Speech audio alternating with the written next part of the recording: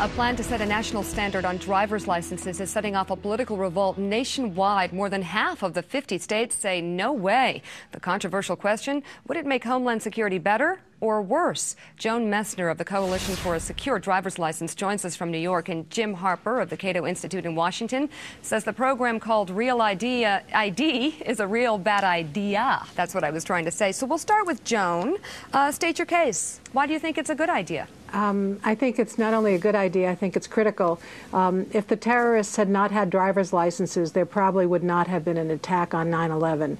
They used the driver's licenses, which they got in easy states at that time, uh, which were, uh, I think, um, Florida and uh, Virginia, and um, I don't remember the third state, but they used the easy states to get driver's licenses, which they took flying lessons with and um, rented cars and trucks with and boarded planes with. So hmm. the most obvious thing is to fight terrorism. Okay, so Jim, you've called this plan a form of blackmail against the states. Why do you say that? Well, the federal Congress is telling telling states that if they don't issue IDs to national standards, uh, their residents won't be able to fly on airplanes, access federal buildings, and so on and so forth. Right now, states across the country are saying we're not going to buy that. Uh, we're going to reject this real ID, national ID. Uh, we don't believe that our citizens are terrorists. We don't believe that our citizens are criminals, and they shouldn't be treated that way. So they're not going to fall for this uh, federal blackmail of, of the states. Hmm. And there's also the question of cost. Joan, you know, the estimated cost of this plan is $11 billion, and um, uh, critics the say the costs have been grossly exaggerated. In New York, which implemented this in about 2004, um, they're figuring a cost between $1 and $2 per license. Mm-hmm. I don't think that's a high price to pay to keep our land safer than it is without secure licenses. And the idea that this is blackmail just doesn't make any sense. We should have a standard driver's license across the country so that identities can be checked across the country.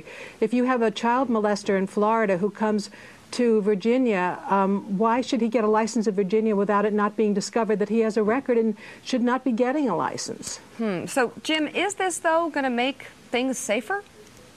Well, people who have studied identification carefully, as I have, and I've read a, written a book on it, uh, know that ID is very good for keeping the law-abiding citizen in line and for tracking our movements and what we do.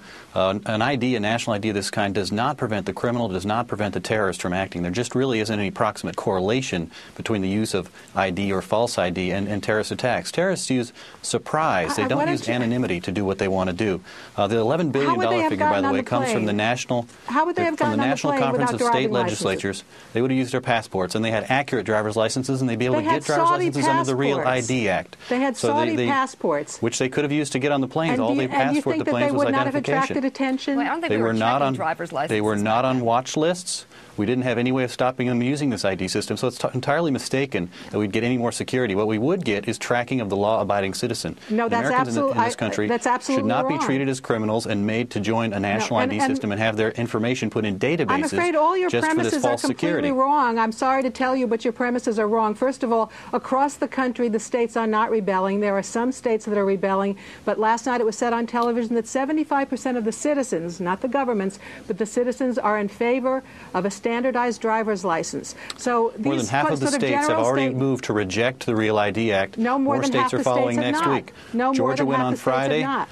Not. On Tuesday next week, it'll be uh, Utah and then Boise, Idaho. I'll be testifying there as well. And we'll watch that. It's a really interesting controversy. Thank you very much, Joan Messner and Jim Harper, for, for coming on and talking about it with us. Thank you.